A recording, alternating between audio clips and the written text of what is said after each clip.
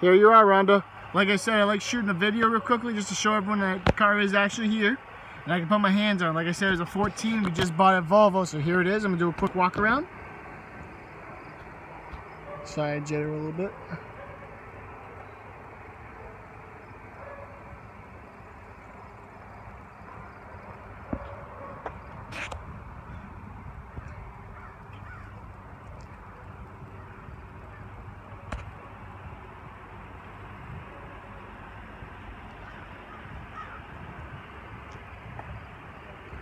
That's the exterior.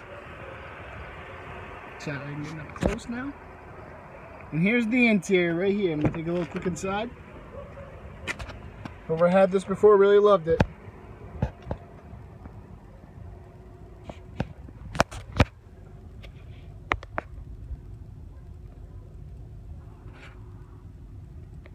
There you are.